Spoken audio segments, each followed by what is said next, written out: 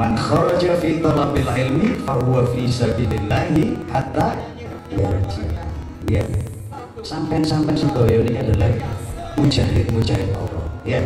Pejuang-pejuang Allah yang akan melanjutkan perjuangan-perjuangan ulama-ulama kita ya yang nantinya panjenengan-panjenengan sedaya ini akan menjadi tokoh-tokoh sentral di bumi kita tercinta Indonesia. Amin Allahumma.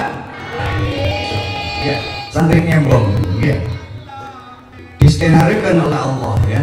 Untuk kita tetap bermualafah seperti ini ini adalah pasti ada hikmah yang terbaik kita.